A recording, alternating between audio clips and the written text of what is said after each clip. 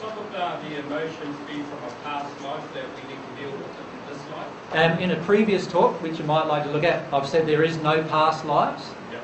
but um, many of the emotions are the, the reason why many people feel there are past lives is that there are spirits attached to them, and those spirits have their own law of attraction, and those spirits are certainly attached to you through your law of attraction too.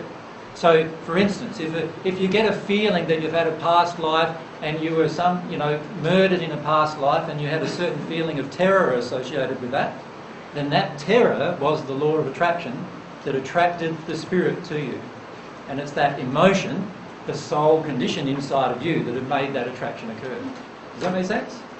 Right? So everything is based still on the law of attraction. What's happening between you and even in the spirit world is due to the law of attraction. Everything. So if, if somebody comes up to you and says, "Oh, you've got three spirits with you, and one of them's really angry with men, and one of them's really angry like about this issue, and one's really sad," all you need to do is say, "All right, I'm really angry with men. I'm really these are my law of attractions." Does that make sense? Just like they would be here on earth. Same same thing. What you're attract, attracting, you will attract both in spirit world and in here, here on the earth and you will attract spirits from the spirit world with the same law of attraction that you attract people on earth to you as well.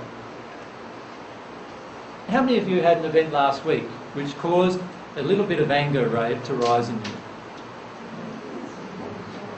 Most of us, right? Okay. That was your law of attraction. And in fact, your anger was your resistance to the law of attraction. We'll talk about that in a minute.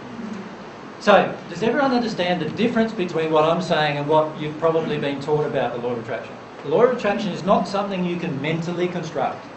It's something that happens at the soul condition, which is to do with your emotions, your passions, your desires. Everything that's happening inside of you is what governs your law of attraction. So everyone understands that? Okay.